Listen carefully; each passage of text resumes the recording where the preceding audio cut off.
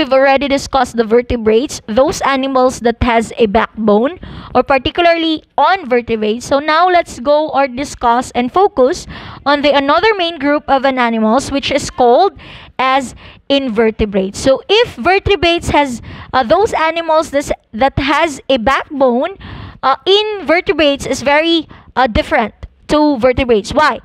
Invertebrates is those animals that is uh, that without a backbone. So let's go now. Let's know the diversity among the animals. Okay? So invertebrates and vertebrates. We've already discussed the vertebrates animals. So invertebrates. So invertebrates is an any of the multicellular animals that lack a vertebral column. Okay, what do you mean by vertebral column? When we say vertebral column, it is a column or also known as the spinal column, meaning to say the central axis of the skeleton in all vertebrates. When we say spinal column, it is your backbone. So, that is the difference between invertebrate and vertebrate. Kasi invertebrate is lacking of backbone, meaning there is no spinal column.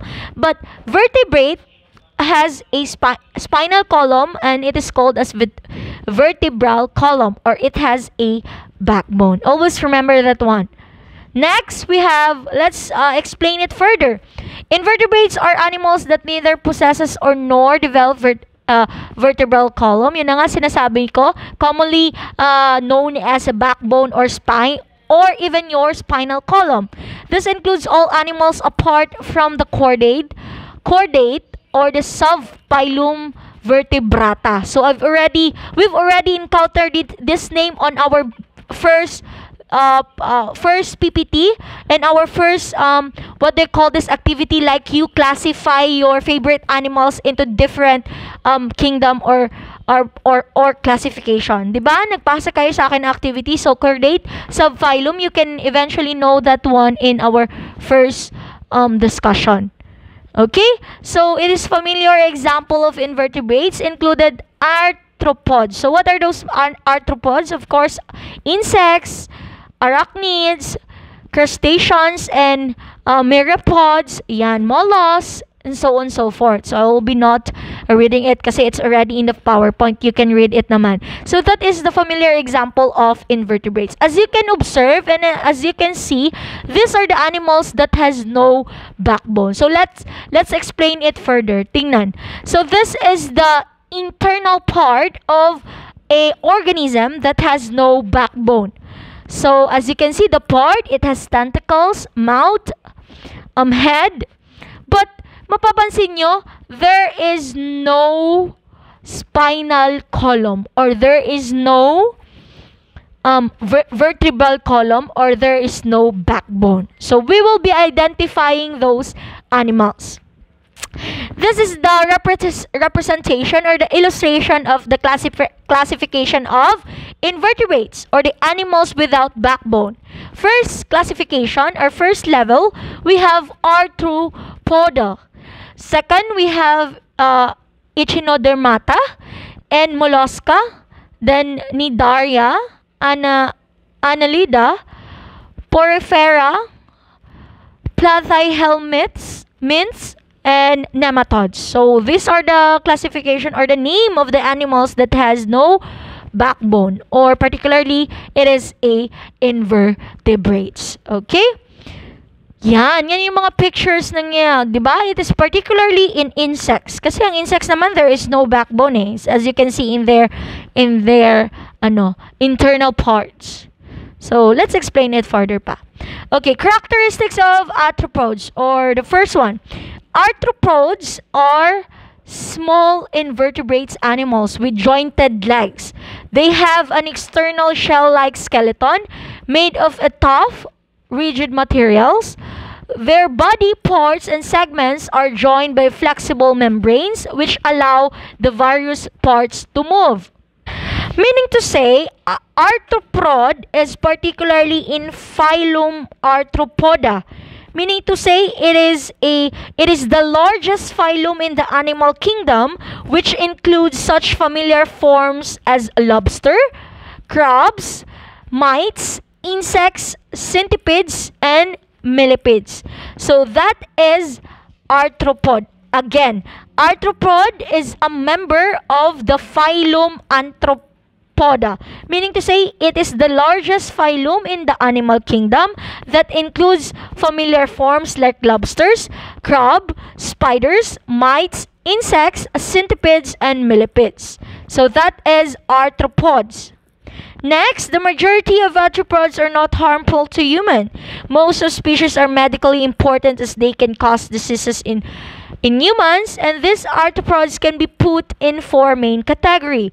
First one, harmful cause nuisance, discomfort, and blood loss by their bite. So what are those animals that can give or that can can can give harmful in the humans? Of course, we have mosquitoes, bugs, and fleas. Mosquitoes, bugs, and fleas can uh, give you a harmful in your body.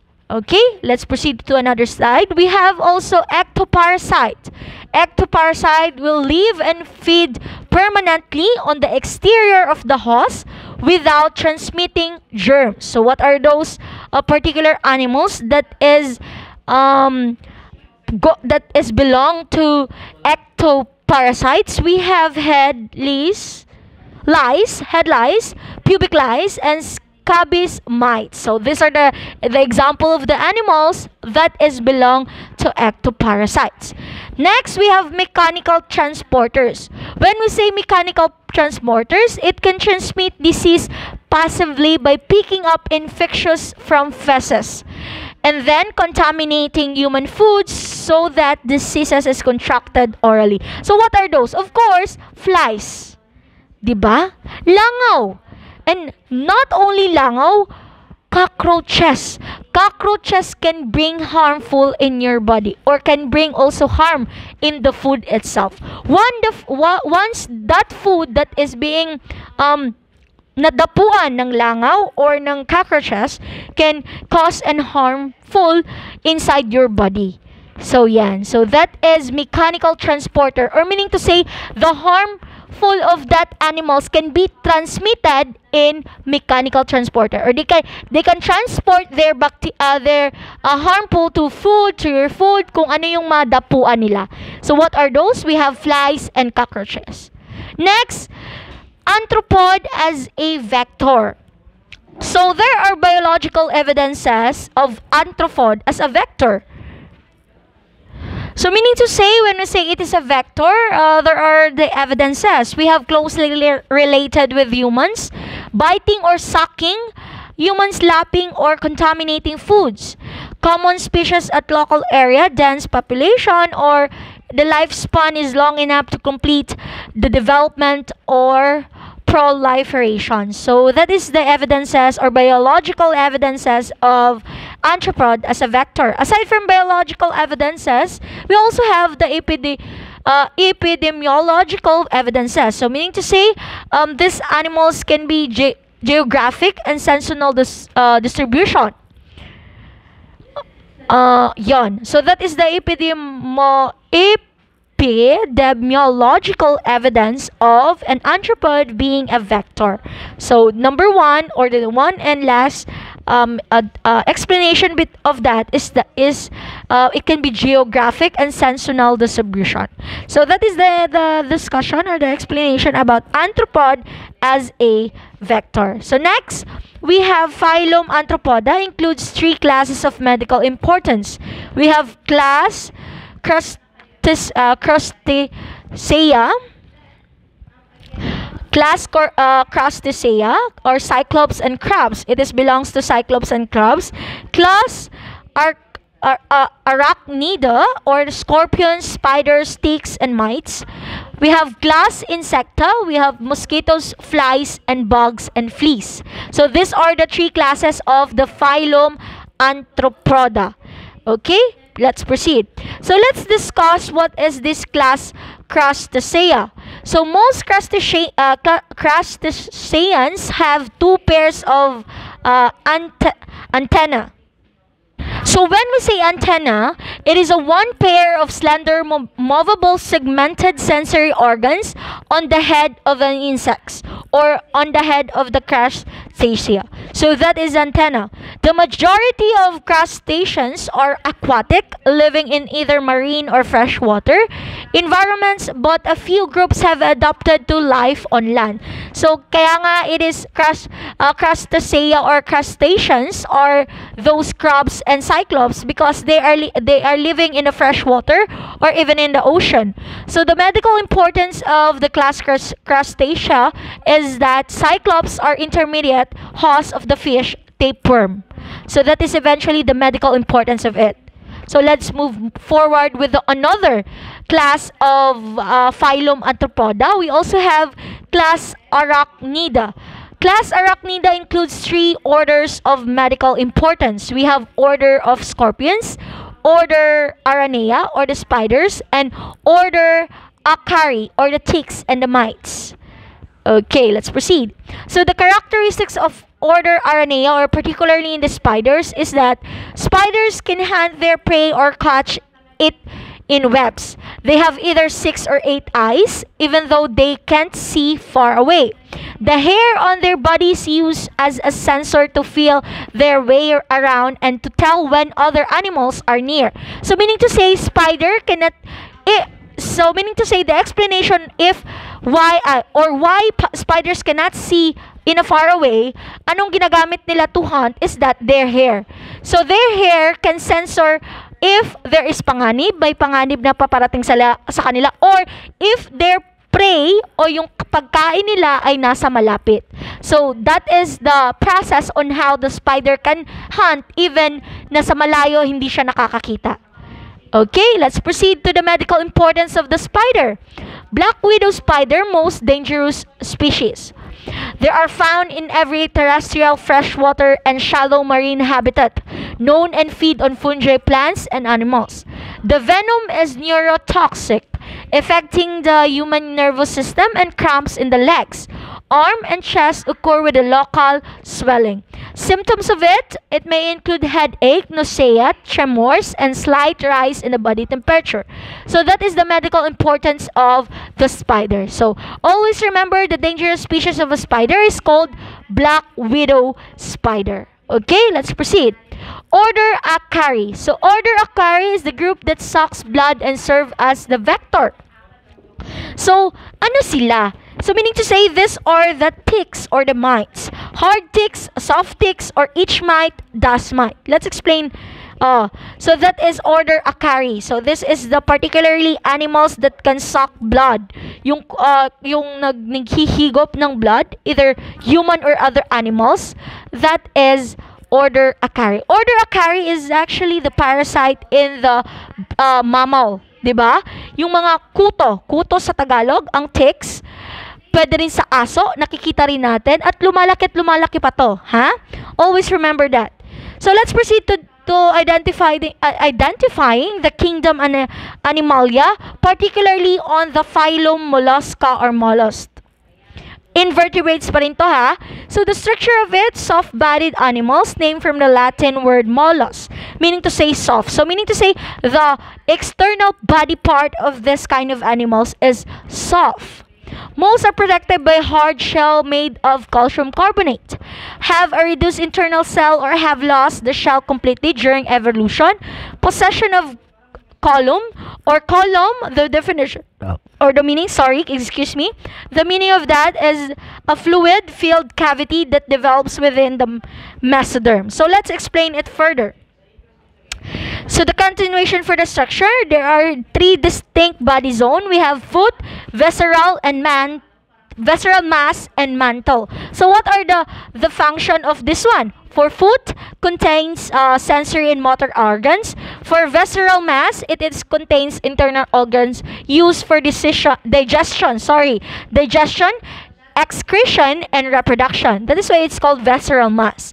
Mantle, a fold of tissues that drapes over the visceral mass and secretes a shell if there is one present. So meaning to say mantle has its cavity and it is called as mantle cavity which is water-filled chamber that houses the gills, anus and excre- excretory pores. So, uh, hindi pa dyan. In the structure also in the mol of mollusks, we also have radula. Radula is the strap-like rasping organ used to scrape up food with the curved teeth. It is allow it it allows the mollusk to scrape algae and other food of uh, of rocks and drill through the shell of prey or catch fish. So this is particular, this very co constant function or function that literally can be found in the structure of the mollusk. Okay, continue. So this is the inter external parts of visceral mass or the mollusk. So meaning to say, meaning to uh, to say, mollusks are those animals that is smooth in the in, in in the outside part or the external part, but um, there is so-called shell in the upper one. Yung sa taas nila may shell. Um, snails. Snails is one of a example of a mollusk. Kasi bakit? Ang labas ng snail, malambot, soft, at saka moisty.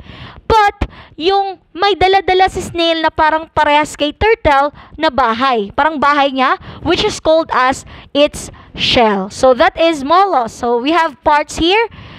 Uh, coelom, uh, nephridium, mantle, mantle cavity, anus, gills for them to breathe, foot, nerve cords, esophagus, mouth, radula, shell, stomach, intestine, gonad, heart, so that is that uh, you can be you can found here sorry you can found here the radula in the mouth or where can the snail can uh, eat or can swallow their food from the radula in the mouth okay let's proceed to the types of three types or three most common types of mollusks we have gas, uh, gastropods uh, bivalves and the cephalopods. Okay, gastropods, bivalves, and cephalopods. Okay, let's proceed on knowing this one. Gastropoda or gastropods are make up 80% of mollusks, which consists of about 37,500 living species. Most gastropods is um, have an external shell. Yun ang sinasabi natin. Uh, meron, ta- meron silang external shell. But uh, the, the body of it is soft. They can either be heb, uh, herbivores or scavengers and carnivores. They usually live in oceans, on rocks, and land, and in freshwater, and they use their muscular foot to creep along a carpet of mucus that they ooze out in order to crawl. So, particularly gastropoda are those um, animals that has an external shell. Yung merong daladalang shell na sinasabi ko. Snails is in the gastropoda. There uh, uh, pasok si snail sa gastropoda because the the classification of gastropoda is very fit to the animal called snail. Meron siyang external shell. Okay? Let's proceed. The most common gastropods, kaya nga sinasabi ko, are snails, land and aquatic, slugs, uh, nudibranch, uh, and te- uh, theropods, somata, and sea butterflies. So these are the examples of the gastropods. Those animals that has an external shell, except the turtles. Okay? Let's proceed to bivalvia or bivalves. This is also known as the pel uh, Pelecypoda or Lom el elebrantia. So bivalves always have two shells. If um, if gastropoda is particularly on the external shell, um, ito namang bivalva is has a two shells held together by hinges and strong muscles. Some are omnivores or animals or person that eats food of both plant and animal origin and also eat bacteria and proteins. They filter feed in which food sticks to the mucus on their gills then cilia move to their mouth. They may live in any watery environment because they are able to swim and float around. And lastly, there are only type of mollusks that does not have a radula. So bivalva, via is this one is the example of this is a two shell or shells in the ocean. So let me let me show it to you. Bivalves lack defined heads. Eyes may be present somewhere else on the body. They have an open circulatory system. They also have sensory cells. There are approximately uh, 7,500 living species of bivalves. The name of bivalves derives from their two valves, their two shells in which it is divided. So uh, that is uh, the reason why it is called as bivalves because of the two shells na na uh, na na, na nag, two shells ng isang animal. So meaning to say, um, yung kaya siya naging bi because there are two valves or there are two shells. Most common bivalves includes ito na, mussels, clams, oysters, scallops. So those are uh, these are the shells that eventually has a two. Makita mo sa structure nila may dalawang shells tapos bago mo makikita yung katawan ng animals nito. So what are those? Mussels, clams, oysters, and scallops. Okay? Let's proceed to cephalopoda. Cephalopoda or uh, cephalopods either have internal or external shells or no or no shells at all. There are carnivores. They capture prey with their muscular tentacles, crush it with their beak and scrape the flesh of with the radua. There are about 600 living species of cephalopods. So what are those cephalopods? They all live in the ocean, of course. They are able to move through jet propulsions, squeezing a current of water out of their mantle cavity and through a tube. Their closed circulatory system make them the fastest, smartest, and biggest of all mollusks. And what are those cephalopoda or those animals that belongs to cephalopods are octopus, squid, cuttlefish, and nautilus. So as you can see, there are there there are these animals are having tentacles. So, yon. That's why it's very dang- dangerous then because those animals that having tentacles is very dangerous. Meron pwedeng makuryente ka, meron pwedeng ma, ma uh, the venom of its uh, of its animals can can can harm the body of the human like that. So that is celo cephalopoda or cephalopods. Okay? So the importance, let's know now the importance of mollusks. Mollusks serve as a food or uh, food serve as a food for humans as well as for other animals. Oo, pwede. Mer meron talaga like for example the the scallops like that. The the the puti uh, uh, octopus. Yan, pusit. Yan. There these are those mollusks that can that can be food by the human. So they are used for pearls and Native American currencies. Like for example, in the shells, pwede rin tayo makakuha tayo ng mga pearls in that. Some are used in as the environmental indicators because their bodies are filled with water. Yes, there are about 85,000 species of mollusks. It is the largest marine phylum. Yes, of course. There is risk of food poisoning from toxins uh, that accumulate in mollusks. Their bites and stings are fatal and some are venomous. Yun nga sinasabi ko that uh, not all the mollusks is not uh, is ano yung hindi harmful. Some of them is actually venomous. Okay?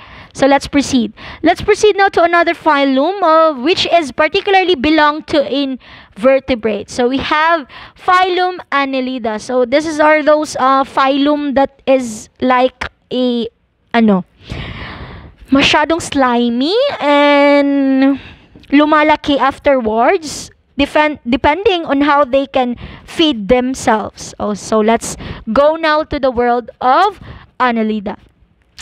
Introduction to phylum Annelida. So let me quick read this one. The phylum Annelida exhibit great diversity of body form. There are segmented worms and are thus distinguished from other worms like flatworms, roundworms, and so on. They included the familiar earthworms and leeches in addition to the number of marine and freshwater species.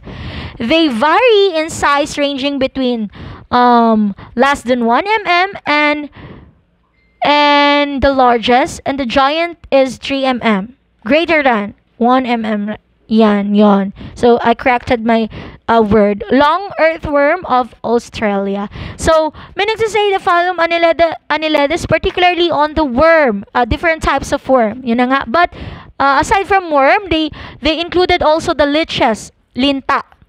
Okay, so etymology. So the Latin word for annelida is Anelus or Anelus or it is uh, meant to say uh, dimin, uh, diminutive of annulus or a ring. Okay, let's proceed. There are classes, of course, in different classes in the phylum Annelida. We have Polychaeta class, Ielosomata class. It's it's it's actually hard to pronounce it right.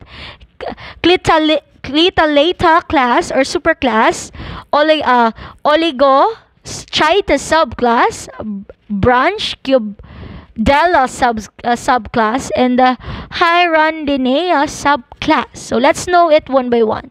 So basic characteristics of before knowing those types of uh, classes in phylum, let's know the basic characteristics of it.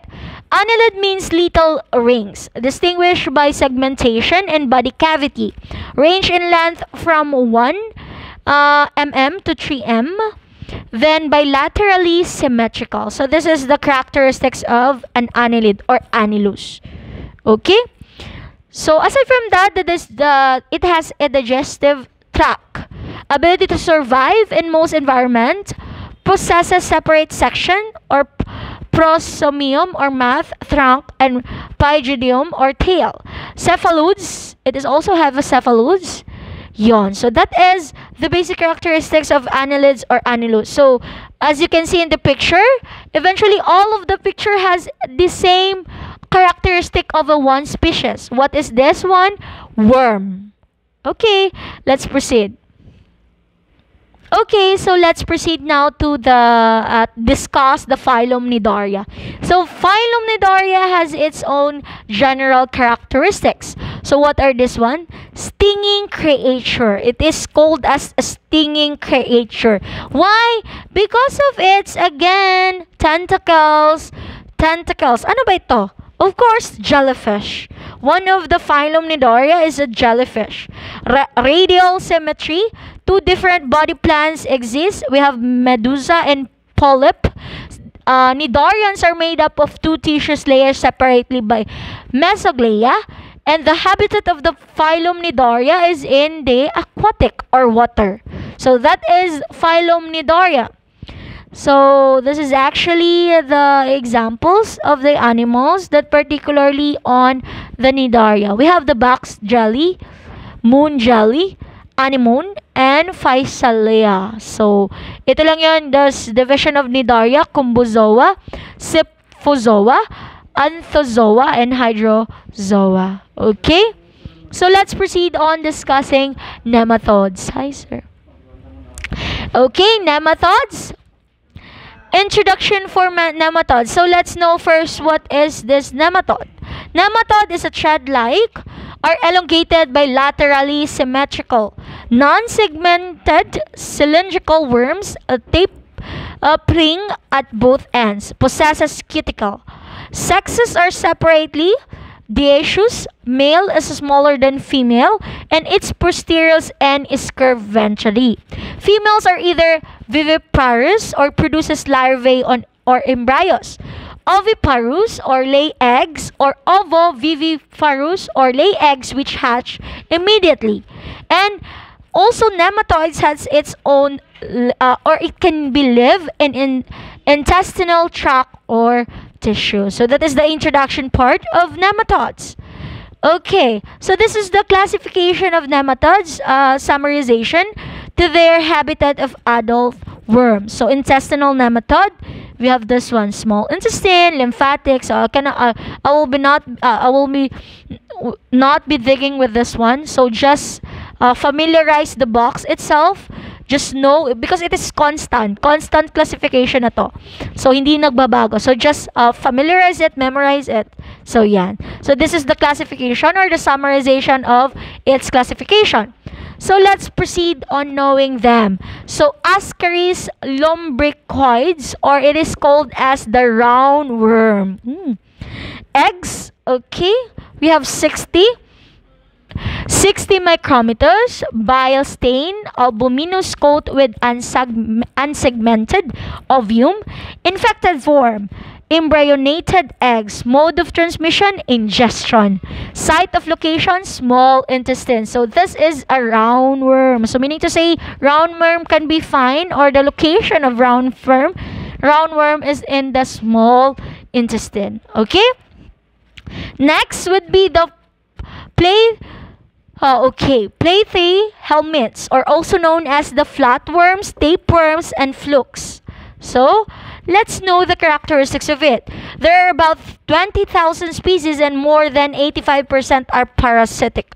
Flatworm live in marine freshwater and moist terrestrial environment. Excuse me. There are uh, triploblastic, which means they have three germs layer. So what are those three germs layer? We have endoderm, mesoderm, and ectoderm. So that is the classification or the characteristics of the um, platyhelminths. Okay. Continuation of that, there are the most primitive animals to have bilateral symmetry and minimal cephalization. They have no coelom or the body cavity, and it can be considered to be an aculo- mate. Okay, so aside from that, the digestion of the platyhelminths is particularly or filled with a virus cellular packing material called pare- parenchyma or parenchyma. Okay, because they show more specialization and division of labor, they have reached the organ system level of development. Okay? So that is the characteristics of platyhelminths. So of course, in any other classification of animals, there are also diverse classes, or there are also classes of it. So this one, there are four classes of flatworms. We have class Turbellaria, means commotion-like. So this is the this is the example as you can see with the illustration. Sorry with that. Um, it is like a flat. Kasi yun nga, it is part of the flatworm. Ito sila yung mga commotion like or the how they how they how the flatworm can be transmit uh, how can the uh, the flatworm can uh, can transport kung paano. So that is class tubellaria. Flat lang sila. So they can they can actually like swim or like uh, having transportation like nasa parang iba ibabaw hindi nakadikit yung kanilang yung kanilang uh, body into the land or sa land ng ocean ganon. So that is class Turbalaria. We have class Termatoda means perforated form. So this is the example. Next, we have class Monogena means single kind. Okay. Then class sesto. That means girdle form. So that is that is the uh, so from the picture itself, no, it's it's very like iwi. So uh, I hope that you are open-minded to look for this kind or to see for this kind of illustration that is very not uh, not suitable to our eyes because the the structure itself is like I don't know how to express that that description. Okay, so let's proceed. So much for that. So that is the types of the flatworm. Okay, let's go now to the phylum Echinodermata or Echinodermata. Echinoderms. So what are those echinoderms or the visual there these are the visual of the echinoderms. We have in the oceans, aquatic like linto. Brittle stars, uh, crinoid, uh, sand dollar, sea cucumber, sea cucumber again, sea urchin, sea urchin, yeah, sea urchin, like toyom in Tagalog, starfish, and also a starfish. So that is the echinoderms in the aquatic area.